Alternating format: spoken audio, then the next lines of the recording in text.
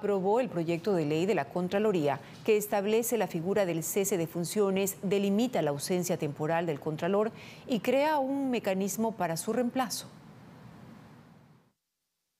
Fue una decisión rápida. La mayoría de asambleístas dio luz verde a la aprobación del proyecto de ley que establece el mecanismo para, en el futuro, designar al sucesor del Contralor General del Estado, si por alguna razón se ausenta del cargo. El documento establece que en caso de ausencia temporal del Contralor General del Estado, quien lo reemplazará es el Subcontralor General. Pero, ¿qué sucede si la ausencia es definitiva? Hemos planteado un texto para que el segundo mejor votado, mejor puntuado, asuma la, en el caso de que eh, se no tenga ya la posibilidad de cumplir estas funciones.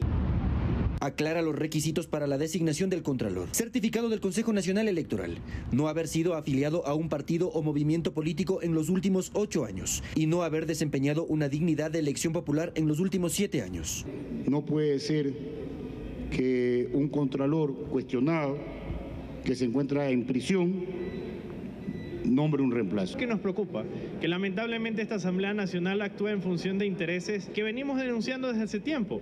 Quieren ir por la Contraloría, quieren ir por el Consejo de Participación Ciudadana. Finalmente la norma aclara las causales de cesación del cargo. Muerte, renuncia aceptada por la Asamblea Nacional, destitución mediante juicio político, ausencia definitiva o abandono del cargo. Cristian Hidalgo, TC Televisión.